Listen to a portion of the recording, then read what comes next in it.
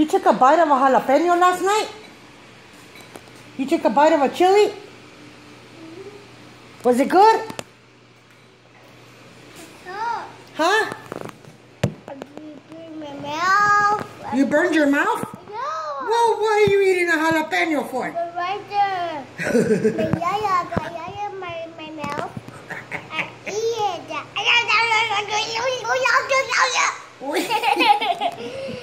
oh my, you're a crazy child. I like trolls.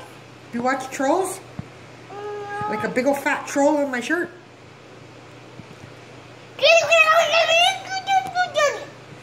So why did you eat a jalapeno? Yeah, Why? I eat so much. I eat it all and more. Baby, don't eat with your hands. Eat with a fork.